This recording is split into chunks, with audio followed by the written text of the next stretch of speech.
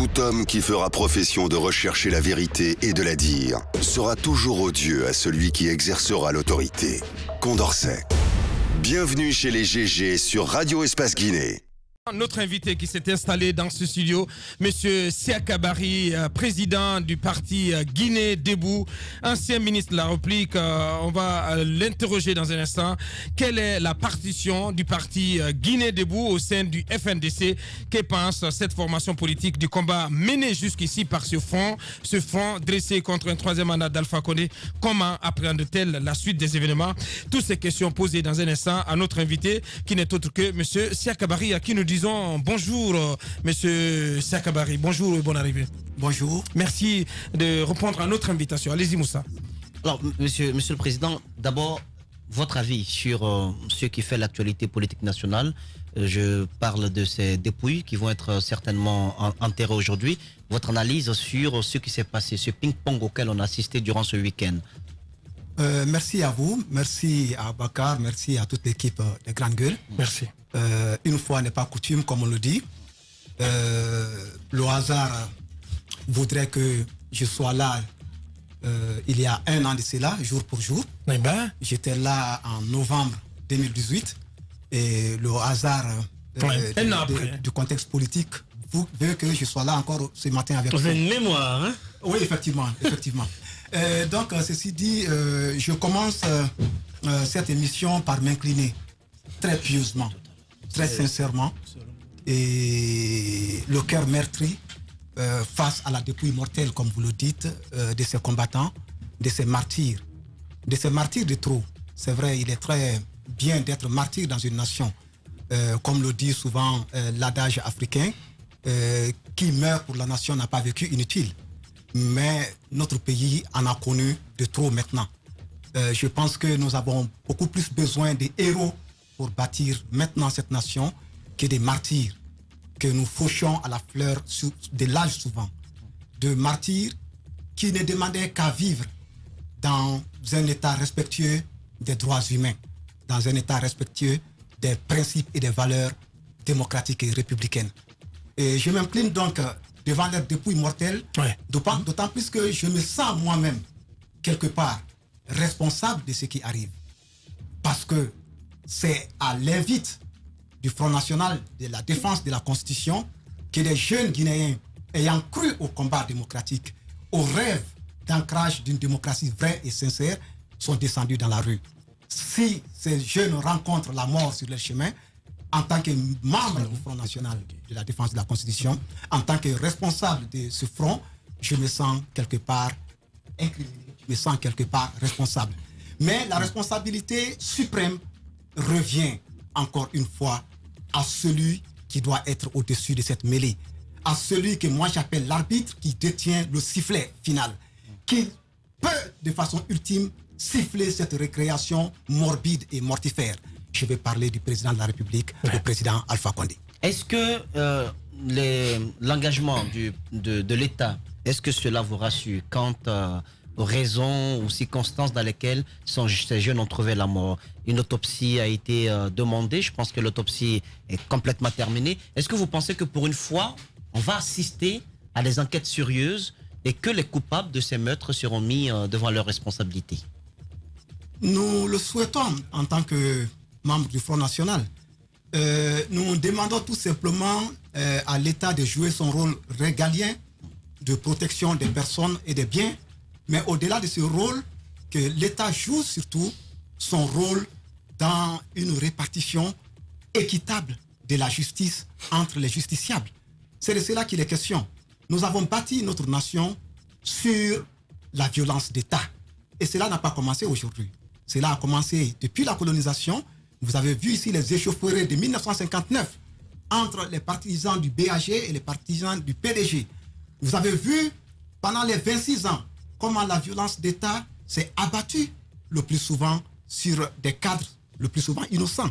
Et vous avez vu pendant les 24 années du général Lassana Conté comment cette opposition elle-même qui est aujourd'hui aux affaires a été traitée ici et traînée dans la boue, même objet d'une violence indicible de la part de l'État.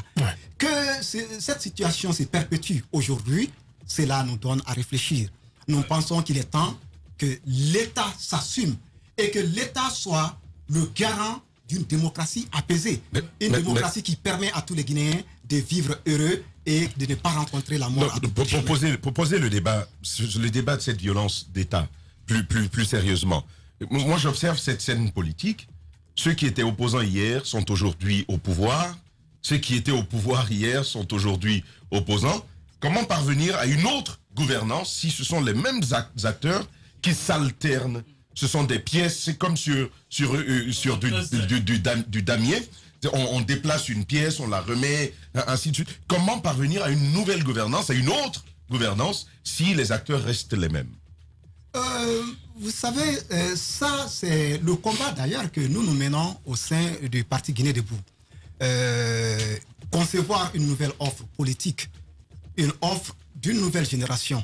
Une génération qui a une autre façon de voir la politique, de faire la politique, qui ne soit pas euh, toujours euh, ces, calculs manichéens et ces calculs de politique politicienne. Euh, cette génération-là, nous, en l'occurrence, nous avons le devoir sacré, au terme même de ce que disait France Fanon, de découvrir cela comme étant un rôle historique pour nous, de, passe, de, de, de tourner la page la page de tout ce qui a été mal fait ici, dans l'arène politique et dans le combat politique de nos aînés, et prendre là-dedans ce qui peut servir. Oui, mais comment ça se fait? Au-delà au -delà de, la formule tourner la page, Comment ça va se faire concrètement Concrètement. Parce qu'il y a des jeunes, il y a des jeunes euh, euh, dans la politique, euh, notamment côté opposition, mais par rapport à ces mastodontes, ça pèse quoi ces, ces, jeunes? À supposer par exemple que finalement ces jeunes ne puissent pas bouger une aiguille. Comment faire en sorte que ceux-là qui ont plus de chances d'être portés au pouvoir nous, nous, nous, servent quelque chose de différent Vous savez, pratiquement? nous les quadragénaires, nous constituons aujourd'hui une génération charnière. Hmm. entre les quinquagénaires, hmm. les sexagénaires, hmm. les octogénaires et les jeunes frères, ceux-là qui sont dans la vingtaine ou dans la trentaine. Nous avons aujourd'hui un rôle en tant que quadragénaire de montrer, comme le disait Jacques Chirac, que le leadership ne, ne s'agit pas de suivre le courant, mais de montrer le cap. C'est à nous de montrer ce cap-là. C'est à nous, par la conscientisation. Pourquoi pas un trentenaire? Pourquoi un trentenaire ne le ferait pas? Justement, est-ce que finalement c'est lié à l'âge? Parce que vous parlez de quadragénaire, de quinquagénaire. Finalement, est-ce que ça tient de l'âge? Ça tient de l'âge, d'autant plus que, au jour d'aujourd'hui, quoi qu'on dise, hmm. la politique s'est faite en Guinée, en Afrique, dans le monde, d'une certaine, d'une autre façon. Hmm. Le président Alpha Condé, hmm. militant dans les années 60, dans les années 70 hmm. n'avait pas les mêmes outils, les mêmes instruments politiques à sa disposition dans son hmm. combat politique que moi, Siakabari, aujourd'hui, dans les années 2010, hmm. dans les années 2020. je suis un peu perdu. Non, je suis un peu perdu. Je, développe, je, développe. je, peux la reposer autrement. De, quoi les quadragénaires sont bons pour, pour que ça puisse, ça doit passer par eux. Je développe. C'est comme nous donnez euh, nous sommes, nous sommes dans cette. Je vous dis, nous sommes, non, pas l'âge, l'état d'esprit. L'âge, l'âge traduit l'état d'esprit. Nous sommes au siècle des nouvelles technologies de l'information et Il y a des vieux jeunes, hein. Justement, nous sommes, nous, sommes une génération charnière, c'est ce que j'ai dit. Hmm. Nous sommes donc à l'âge des nouvelles technologies de l'information et de la communication. La politique en 2019 ne se fait pas comme la politique en 1970. Et ceci dit, nous avons un rôle de conscientisation, un rôle de formation des masses, un rôle de participation, de faire participer ces masses prolétaires, ces masses de jeunes à la prise de décision, mais cette fois-ci en leur donnant l'ingrédient nécessaire à leur épanouissement politique, c'est-à-dire le savoir et le savoir-faire. Euh, et c'est ce que nous faisons. C'est ce que nous faisons. Euh, Il n'y a que par la formation citoyenne que nous pouvons faire engager cette génération.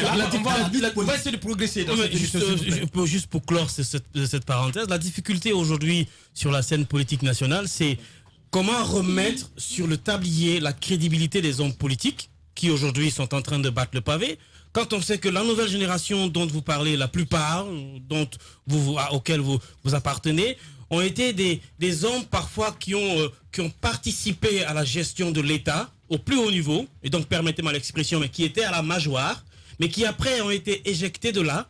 Et parfois on a l'impression que c'est par frustration qu'on se déverse dans la politique et le discours change. Le discours d'hier devient, euh, devient euh, le discours d'aujourd'hui devient, devient, aussi. devient complètement le Euh, contraire, le, le contraire du discours qu'on avait hier. Et- Alors, et d'ailleurs- est-ce que c'est pas un peu la difficulté que Justement. vous avez la Euh, la politique, Oui, mais on a aussi, permettez-moi d'en rajouter un peu, parce qu'on a l'impression d'ailleurs, on a l'impression d'ailleurs, parce que moi je, je ne suis pas très sensible à cette histoire de jeunes et Ouais. tout ça. On- moi j'ai l'impression souvent que les jeunes aujourd'hui, ils sont encore plus pourris pratiquement que euh, les, les, les, les vieux que nous voulons pas- pas le mot mon. Oui, Pas mot mais on a l'impression en termes de corruption qu'ils sont plus, ils ont plus tendance, ils ont plutôt tendance à amasser rapidement aujourd'hui euh, euh, euh, euh, de l'argent facile, des, des richesses illicites, que ces vieux-là que nous pourfendons à, à longueur de journée. Et d'ailleurs, ils sont, ils sont généralement ceux-là qui servent de terreau justement à ce système que nous voulons euh, Euh, tous euh, combattre. Vous savez, il y a un terme qui revient souvent en Guinée qu'il faudrait qu'on clarifie. Hmm. Faire la politique par frustration n'a rien de grave. D'ailleurs, le plus souvent, tous les grands hommes sont arrivés dans la politique par frustration. L'essentiel est que, comme il le dit, que cette frustration ne soit pas d'ordre personnel. Que ce soit une frustration qu'on nourrit Mais parfois, face à... Justement, La j'arrive, je cas, ça l'est. Je, je développe. Dans les discours, ça se Euh, sent. La frustration doit transcender la personne du leader, la personne de l'homme politique, pour épouser une cause beaucoup plus noble, beaucoup plus transversale, beaucoup plus patriotique. Tout homme politique, tout grand homme politique est arrivé en politique par frustration. Euh, il n'y a pas de différence entre un Siakabari frustré ici aujourd'hui le climat politique et le contexte politique ambiant et un Ousmane Sonko au Sénégal qui est frustré aussi et qui se lève pour changer une situation. Ou un Guillaume Soro en Côte d'Ivoire frustré qui se lève pour changer une situation. Seulement, il faut que la frustration transcende les ressentiments personnels. Bien. Et si c'est tel est le cas, je peux vous assurer, droit dans les yeux, que je n'ai aucun ressentiment. Bien. Seulement, ce que je demande à la jeunesse, c'est de nourrir une frustration légitime face à l'état de dégradation de notre démocratie, face à l'état de délitement et de déliquescence de notre nation, Bien. face surtout à l'état de confiscation de notre économie pour des fins égoïstes. Sont Alors moi, vous, hein, vous- me tendez, vous me tendez la perche en citant la Côte d'Ivoire et le Sénégal. Euh, on va donc s'intéresser à l'actualité. Aujourd'hui, euh, donc euh, de ce week-end déjà, où on a assisté à une forte mobilisation de Guinéens, mais je dirais aussi d'Africains du côté de Dakar. Et d'ailleurs aujourd'hui, selon les informations un peu qu'on a, c'est que euh, euh, ce type d'exercice va se multiplier dans plusieurs capitales africaines où désormais les jeunes, donc la jeune génération, estime que ce qui se passe en Guinée intéresse toute l'Afrique. Quel est votre regard sur cette euh, euh, nouvelle donne? Il y a Namar aujourd'hui qui s'intéresse à la situation en Guinée. Namar s'intéresse, Oui. euh, Balai Citoyen au Burkina s'intéresse. Et il y a toute une plateforme de jeunes activistes africains. Moi-même, j'en reçois chaque fois euh, chez moi. Je reçois des messages de félicitations et d'encouragement. Pas plus tard que la semaine passée, c'est les jeunes activistes nigériens qui m'ont écrit et qui ont même fait une publication dans ce sens. Nous avons des correspondants un peu partout. Cela montre que, encore une fois, comme je le dis, que nous avons aussi une force panafricaniste et panafricaine qui est aux aguets et qui pense que ce qui se passe en Guinée peut affecter le reste de l'Afrique. C'est cela aussi euh, la force de ce combat-là. Maintenant, encore une fois, ce que je dis à cette jeunesse africaine, Ouais. à cette jeunesse guinéenne, c'est de ne pas personnaliser le débat. La lutte contre la nouvelle constitution ou contre le tripatouillage constitutionnel et le troisième mandat n'est pas une lutte dirigée contre un individu. Notre lutte n'est pas dirigée contre le président Alpha Condé. Notre lutte est dirigée contre une forfaiture, contre un forfait. Comme il le disait, c'est la constance en politique qui crée la crédibilité. Moi, Siakabari, Ah, en 2001, j'étais opposé au troisième mandat. Oui, mais- oui, mais là, vous- Aujourd'hui, en 2019, vous êtes- c'est mon Oui, mais pouvoir. vous- Je suis opposé vous à êtes- son troisième vous êtes mandat. en train de C'est dire- cela la constance, c'est cela la politique. vous- êtes, dans votre discours, j'ai relevé un- dans, dans un pan de, de ce que je ne vais pas laisser passer. Vous dites que votre combat n'est pas dirigé contre la personne du président de la République, mais qui quand même est, euh, si vous voulez, euh, euh, l'esprit. Symbo- l'es- symbolise. le pouvoir en place et, et tout l'état que, que, que vous venez de décrire. Alors, quel système vous combattez si vous ne combattez pas l'homme qui incarne le système? Est-ce qu'encore une fois, on n'est pas en train de revenir Dans- sur la prudence, la question- prudence qui est votre aux hommes politiques qui ont Bien. parfois en collaboré avec vous le avez- président Vous avez les qui à un moment donné prennent les des éléments freins de dans le discours. Dans Bien. votre question, vous-même vous donnez les éléments de réponse. Vous dites qu'on ne veut pas combattre l'homme Alpha Condé et que donc quel système nous voulons combattre. C'est- C'est-à-dire que vous êtes conscient que c'est un système que nous devons combattre, pas un homme. Euh, le plus grand échec du président Alpha Condé, aujourd'hui, avec le recul, Ouais. tout jeune militant que j'ai été, je peux aujourd'hui le percevoir. Son plus grand échec dans son combat de 40 ans, c'est parce que nous avons finalement compris qu'il combattait un homme au lieu de combattre un système. Il a combattu Lansana Conté. Il y a eu une simple révolution des palais à Sekouturia. Mais le système n'a pas bougé d'un Le système est resté en Le place. système n'a pas changé. Et le système a eu finalement raison de l'homme. Donc, Donc, il est à la en tête de ce système Conté aujourd'hui. Il est à la tête d'un système compté et il est en train de faire du compté sans compter. Bien. Voilà ce. Et ce que nous sommes en train de dire, moi personnellement, je ne pense pas qu'il faille passer du temps à combattre M. Alpha Condé, le président de la République. Non, il faudrait combattre tous les tuiféraires de ce système qui étaient là à la manette encore en 2001, lorsque nous combattions au sein du FRAD, au sein du MORAD, les, les- les forfaitures d'un troisième mandat. C'est les mêmes qui sont là aujourd'hui, qui sont les éminences grises de ce troisième mandat Bien. et qui sont dans la conception de ce troisième mandat. Siaka Barry euh, de Guinée Debout, notre invité en ce lundi, euh, président euh, de cette formation politique Guinée Debout, ancien ministre de la République. On poursuit cette interview avec vous, Moussa Moïse. Moi, il y a, y a peut-être la politique en Guinée, dans le monde aussi, est codifiée. Mais il y a des codes que je n'arrive pas à interpréter. C'est-à-dire que M. Barry, M. Siaka Barry, n'a pas démissionné de son poste. Il a été débarqué de son poste. Il a aujourd'hui beaucoup de remarques à faire sur ce système qu'il dénonce. Mais ce que je ne comprends pas, c'est pourquoi on n'a pas la même appréciation lorsqu'on est dans le navire exécutif, dans le navire présidentiel, et quand on n'est plus dans ce navire présidentiel. Quand j'ai entendu Moukta, c'est la même question que je me suis posée. Quand j'entends également M. Siakabari, c'est la même question que je me pose. Qu'est-ce qui change au fait? Qu'est-ce qui change? Ce qui change, Oui. c'est le discours qui a amené le président de la République à limoger M. Siakabari. Ne traversons pas l'histoire. Mhm. M. Siakabari a été limogé pour une cause. Et on ne s'est pas levé un beau matin. C'était quoi la cause? Vous avez tenu C'était quel quoi la cause? Puisqu'on en a Euh, l'occasion. que- Parlons-en, Voilà, parlons-en. Oui, Je parlons-en. vous ramène tout juste Mm. à mon discours d'Accra, tenu le 12 août 2017. Rapprochez-vous Soit- du, du micro, soit s'il vous 10 plaît. jours Ouais. avant mon limogeage. Bien. Vous avez entendu parler du discours d'Accra, où j'ai dit Mm. que la Guinée est en train de perdre aujourd'hui son âme, là où le Ghana est en train de préserver son âme. Vous C'était savez, très- vous c'était très savez, fort quand l'histoire est têtue. À quel endroit? L'histoire est têtue. À l'université, j'ai été. Non, non, je parle de. vous- dites la Guinée perd son âme là où le Ghana est en train de le Justement, gagner. je parlais de la déliquescence morale et de la déliquescence culturelle de la Guinée. J'ai trouvé au Ghana une jeunesse éduquée, une jeunesse citoyenne, une jeunesse responsable, mais éduquée par les pouvoirs publics. Citoyens par Vous le étiez fait à la tête de la culture. Ouais, absolument. Mais ça, c'est Absolument, la c'était votre vocation. Justement, Ça, c'est- c'est c'est- normal. Justement, je vous Barry, dis- Monsieur Barry, C'est pour cela que vous avez été. Attendez, é- écoutez-moi, je vous dis tout simplement, si vous pensez que la dénonciation commence après le gouvernement, c'est juste un rappel. C'est base est-ce de Barry, quand même. Non. Oui, Vous étiez ministre, mais vous auriez pu le faire en Guinée quand même. Mais c'était même à l'étranger, à l'étranger. Doucement, s'il vous plaît. Encore une fois. Oui. Euh, le, le deuxième discours tenu étant membre du gouvernement. C'était le 12 août au- à l'occasion de la journée internationale de la jeunesse à l'université générale Lansana Conté. Le mouvement Génération Debout a été le premier mouvement à dénoncer les velléités de tripatouillage constitutionnel. Le 12 août, je vous parle avec des, des- des- des- des dates. Allez-y, la Le preuve, 12 qu'est-ce que août. vous avez dit ce jour? Et ceci dit, quand le 24, il y a eu la rupture par le décret de limogeage du président de la République. D'abord, pas un décret de limogeage, un décret qui appelait à d'autres fonctions. Je vous ramène à mon discours de passation, qui devient aujourd'hui un discours historique.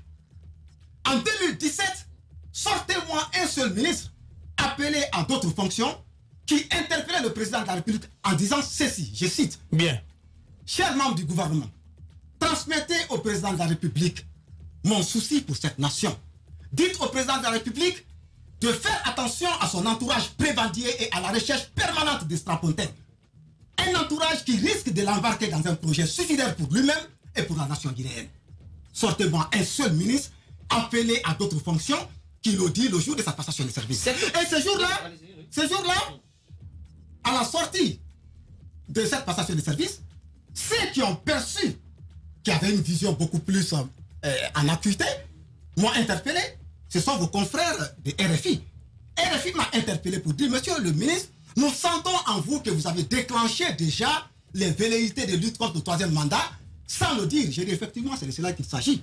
Donc, Non, mais non, nous- non, non, nous non, sommes- en même temps, nous en sommes même dans temps. un- Nous sommes dans un débat. D'accord. Nous Mais sommes dans vous un savez, débat. monsieur Barry, c'est important. Euh, c'est la constance en politique. c'est- monsieur Barry. La constance en politique. J'ai été un jeune cadre du j'espère- un jeune cadre du Morad. Il y a eu des morts sous Lansana Condé. Je sais, Il y a des morts aujourd'hui sous Alpha Condé. Oui, Rien n'a changé dans notre combat. J'espère que mes questions ne vous ont pas offusqué. Pas du tout. Mais c'est important quand même dans l'arène politique de De- notre de pays clarifier. de faire, euh, de, de, de quand même savoir qui est qui. de Parce que clarifier, chacun a une histoire de clarifier. clarifier. Mais en même temps, et- et je, vous- je- je- je vais placer une ça. dernière question, oui. Je vais placer ça. Mm. Tout le monde connaît, en tout cas, mes rapports avec mon grand frère Selouda Diallo. Oui. Qui ne sont pas des rapports toujours euh, euh, Cordiaux. Voilà, très cordiaux. Une semaine après mon limogeage, à l'Assemblée générale de M. Selouda Diallo, il l'a dit, il m'a rendu hommage. Il a dit voici un jeune qui fait les frais très tôt du combat contre la nouvelle constitution ou contre le tripatouillage constitutionnel. L'histoire est têtue. Aujourd'hui, ce que j'ai préconisé, ce qui était ma crainte en 2017, c'est ce qui se décide aujourd'hui. Mais je pense que s'il y a, s'il y a, s'il y a, s'il y a quelque chose de, de valeureux à tirer du discours que vous avez tenu lors de, ce, de cette passation de service, il y a aussi quelque chose d'encore plus valeureux à tirer de, de l'acte posé par ces ministres qui ont décidé de démissionner, qui ont démissionné du gouvernement du président Alpha Condé, Bien sûr. qui ont été approchés, courtisés, parce que le chef de l'État, par exemple, ce qui n'est pas sûr de l'opinion, c'est qu'il a tout fait pour ne pas que Gassama démissionne, il a tout fait pour ne pas que le ministre... Chef-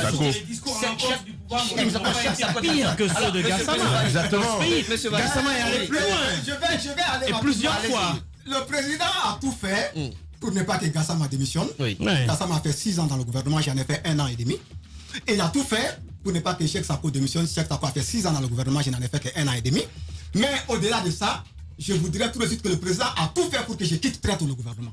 C'est ça la réalité. Bon- C'est maintenant à lui de, de répondre pourquoi lui il a tout fait pour maintenir les autres et pour moi me mettre me jeter très tôt. Bien, parlons, Voilà. parlons, parlons du combat mené par le FNDC. Justement. comment vous regardez ce combat aujourd'hui? On a appris à un moment donné que vous avez, euh, vous avez estimé qu'il était trop tôt euh, de la part du FNDC d'enclencher des, des manifestations de rue et qu'il faille, euh, il fallait attendre que le président de la République euh, se, se- se déclare euh, pour ou euh, contre un référendum constitutionnel pour engager des actions. Est-ce que vous maintenez votre position et comment vous regardez la stratégie globale du FNDC Effectivement, lors de la plénière euh, du FNDC qui a prévalu donc à l'appel à manifestation du 14 octobre passé, Ouais. j'ai été l'un des rares, pour ne pas dire le seul euh, leader du FNDC à m'opposer à la sortie, en tout cas aux manifestations de rue. Et cela était dicté par un souci. Donc, Le souci de voir encore cette barbarie s'abattre sur des jeunes gens. Ouais. J'ai eu très tôt raison. Voilà pourquoi le 15, j'ai fait une interview où j'ai dit que j'aurais voulu ne pas avoir raison cette fois-ci, mais malheureusement, l'histoire me donne raison. Nous avions déjà 11 jeunes fauchés à la fleur de l'âge. J'ai dit à mes partenaires du FNDC de laisser les tripatouilleurs et les pushistes civils aller très loin dans leur forfaiture. De laisser ces tripatouilleurs-là se mouiller encore plus à la face de l'opinion nationale et internationale. Et qu'il arrivera un moment où c'est le peuple même qui nous appellera à venir le coordonner et aller les combattre. C'était ça, il y avait ce souci-là. Mais ce souci était d'ordre stratégique.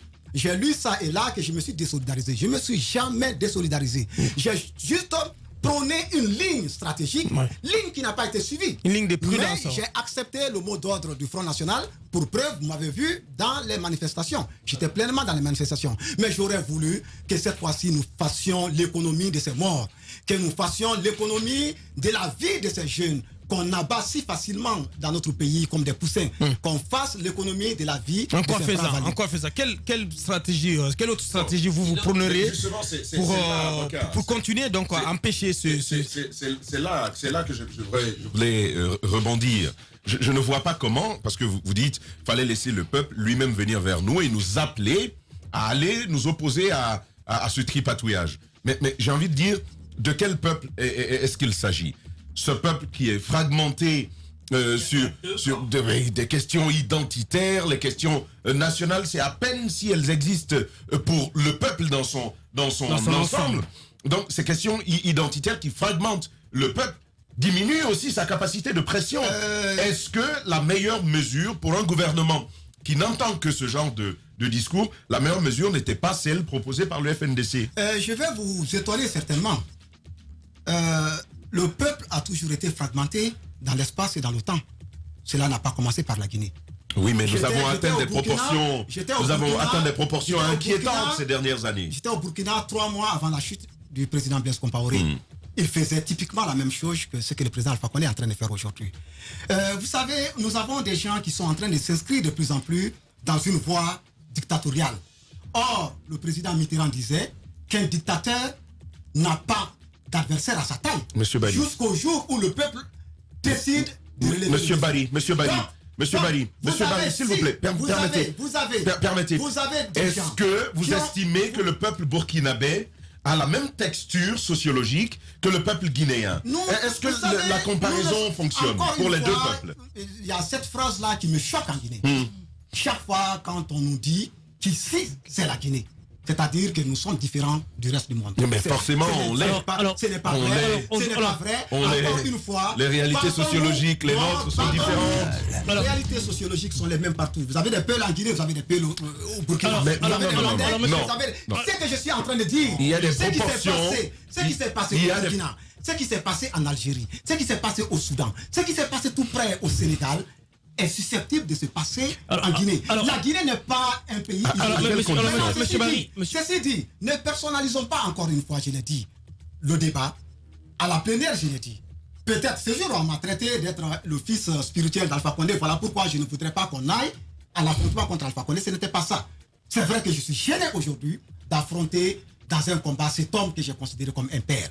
Je vais vous faire une petite confidence. Ouais. L'an passé, j'étais avec un ami très proche, euh, je parle du président Guillaume Soro de la Côte d'Ivoire. Il m'a dit ceci. Siaka, j'ai des problèmes et le même problème que j'ai en Côte d'Ivoire, tu risques de le, de le rencontrer en Guinée. Quel est le problème? Mon problème, ce n'est pas le rapport de force entre Alassane et moi. Mon problème, c'est de me voir, moi, Guillaume Soro, produit d'un homme, d'un grand homme d'État comme Alassane Ouattara, fils d'un grand homme d'État comme Alassane Ouattara, me dresser un jour comme étant le combattant de cet homme-là, comme étant l'adversaire de cet homme-là. Alors- il dit, tu risques d'avoir la même chose en Guinée. Et je lui ai dit, oui, je risque d'avoir la même chose, mais à condition que le président Alpha Condé, que je considère comme un père, se met entre la Guinée et ses intérêts supérieurs. Et c'est ce qui est en train d'arriver aujourd'hui.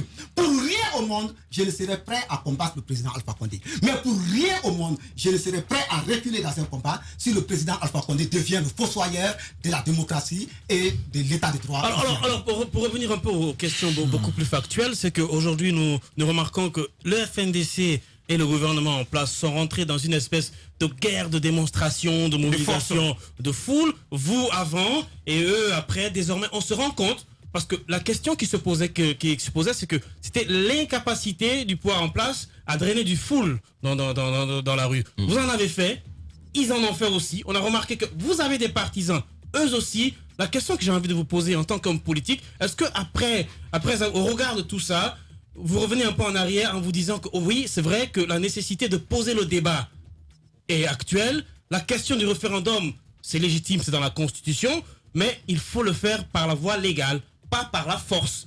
Parce qu'on a remarqué qu'il y a deux camps clairement qui sont Donc il faut, dressés. il faut un arbitrage. Il faut un arbitrage. peuple. Euh, ce, qui me électoral. gêne, ce qui me gêne dans ce que vous dites, c'est comme si... une question, hein, je- je n'affirme pas, hein. Oui, oui, c'est une, en une fait, question, euh, voilà. euh, ce qui est gênant là-dedans, c'est comme si vous nous appelez aujourd'hui à abdiquer parce que...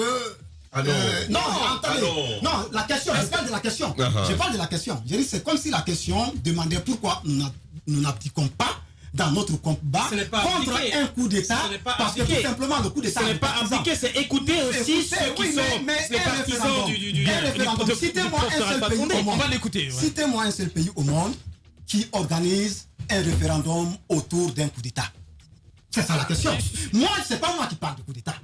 Encore une fois, vous savez, dans ce pays, il faut que les choses se clarifient maintenant. Ce n'est pas moi. Dans l'échelle des normes juridiques, il y a les traités internationaux qui sont au-dessus de tout. La Guinée a ratifié librement la charte africaine de la démocratie et des droits de l'homme. L'article 23, alinéa 5 de cette charte africaine de la démocratie et des droits de l'homme stipule que nous considérons comme coup d'État tout changement constitutionnel ou réforme de la Constitution en vue d'empêcher ou de retarder une alternance démocratique. Bien. C'est pas moi qui le dis. La Guinée l'a ratifié. Donc, aujourd'hui, tout le monde sait que c'est un coup d'État. Au sens même et à la définition Donc, hors de l'Union africaine. hors de question. Alors, pourquoi- moi- moi, je- pourquoi Dernière question, permettre- Romain. Pourquoi permettre que nous fassions un référendum autour d'un coup d'État? Ça, c'est selon les normes internationales. Net- euh, internationales. Au-delà de ces normes internationales, venons aux normes locales, aux normes guinéennes. Euh, nous avons des intangibilités. Ces, intan- ces intangibilités sont de l'ordre de 4 ou 5. Parmi ces intangibilités, il y a la laïcité. Il y a le pluralisme politique. Il y a le nombre et la durée de mandat. Il y a la forme républicaine de l'État. Aujourd'hui, par euh, des artifices et des subterfuges, certains veulent contourner cela pour empêcher l'alternance. Si nous le permettons, demain, si un ayatollah parvenait au pouvoir ici par les urnes et qu'il décide de faire un référendum autour de la laïcité de la Guinée, pour faire de la, de la Guinée un État islamique, qu'allons-nous dire? Bien. Dernière Voilà. question, allez-y, Mohamed. Dernière question. Alors justement, euh, il m'avait tendu la perche parce que moi je, je l'attendais sur euh, la- la- l'aspect juridique de ce combat. Est-ce que vous, vous, vous êtes satisfait au FNDC euh, du niveau de la mobilisation actuelle ou est-ce que vous pensez qu'il faille aller au-delà, notamment en saisissant directement des institutions internationales comme le Conseil des, droits de l'homme à l'ONU, comme euh, les Nations Unies elles-mêmes, et, pourquoi pas des, des tribunaux africains. Parce que moi, je veux rappeler quand même cet article 23, d'ailleurs en entièreté, qui compare ce qui est en train de se passer à un coup d'État et même à une rébellion armée. Carrément dans cet article. Bien. Mais pourquoi est-ce que vous envisagez aujourd'hui en tant qu'opposition de saisir par exemple la, le- la, la, la- la Cour de justice la CEDAO contre l'État guinéen par rapport justement à ses velléités? Justement. Est-ce que vous allez le faire? Est-ce que c'est envisagé au FNDC comment envisagé? comment vous envisagez la En fait, euh, je remercie euh, M. Mara de- d'aller euh, dans le même sens. Ceci dit, les institutions supranationales qui sont là se sont toutes prononcées à ce jour, avant même leur saisine. Ouais. Vous avez vu quand même le communiqué conjoint de toutes ces institutions Tout qui appellent au respect du cadre constitutionnel, légal et à, à- à- à des élections libres, transparentes et inclusives dans les délais légaux. Donc ce n'est pas moi. Vous avez quand même aujourd'hui une communauté internationale attentive du sort de la Guinée. Et ceci dit, encore une fois, lorsque vous me parlez de manifestations, je vais vous étonner. Tant que nous sortons, tant que nous appelons le peuple dans la rue, et que moi, Siakabaj, je vois des milliers, des dizaines de milliers, des centaines de milliers de jeunes dans la rue avec nous, au lieu d'être satisfaits, au lieu d'être gays, au lieu d'être euh, euh, dans l'extase, très honnêtement, je suis dans la tristesse. Tant que nous pouvons en fait, euh, Faire l'économie. Tant que nous pouvons mobiliser ces bras valides autour d'une manifestation politique, je suis dans la tristesse. Pourquoi? Parce que c'est du gâchis. Ouais. C'est du gâchis. Et la seule personne qui peut prévenir ce gâchis dans notre nation, c'est le président Alpha Condé. Comment voulez-vous que dans une nation, on abandonne toute question relative au développement, au développement durable? Dans une nation où 55% de la population vit en dessous sous du seuil critique de la pauvreté. Dans une nation où la corruption bat son plein. Une nation dont l'indice de perception de la corruption est de 28 sur 100. Une nation à 65% analphabète. Une nation où le taux brut de scolarité est de 88%. Une nation où le taux de mortalité infantile est de 65 pour 1000. Une nation où le taux de mortalité maternelle est de 60 pour 1000. Comment voulez-vous qu'on laisse cette nation-là dans une telle dérive, dans des questions de politique politicienne Bien. Voilà ce qui me fait. Bien, on en a terminé pratiquement avec euh, le, notre invité, euh, le ministre Siaka Barry, euh, président de Guinée Debout. Moussa, on va prendre euh, 30 secondes pour vous écouter sur ce qui se passe à, l'instant du côté de l'hôpital sino-guinéen. Il y a eu, euh, je pense, une sainte pagaille du côté de l'hôpital sino-guinéen. Peut-être que la situation est en train de, De se normaliser. de se normaliser, mais j'invite l'État à prendre ses responsabilités. Il faut éviter une nouvelle épreuve à ses familles et à ses dépôts mortels. Bien. On va suivre euh, tout cela dans nos éditions d'information. On va y revenir forcément dans notre euh, émission de demain. Rappelez également, si tout va bien, on entendra également M. Baroui qui a été euh, victime donc d'agression verbale et, et- et du côté de Dakar ce week-end. Merci à vous, M. Siakabari. Malheureusement, le temps a été très court. On pas pu vous entendre, euh, notamment sur les questions d'éducation, d'économie. Pourquoi pas, on le fera une prochaine fois. Ça en est terminé pour le numéro d'aujourd'hui, la première représentation de la semaine. Merci à toute l'équipe technique. Mohamed Diaby, Doua Diaby du côté de la radio. Toute notre équipe à la régie, à la télé. Grand merci à, notre ingénieur de son, à la SCDB. Merci à tous les chroniqueurs. On remet ça demain matin. Portez-vous bien. Au revoir. Les programmes continuent.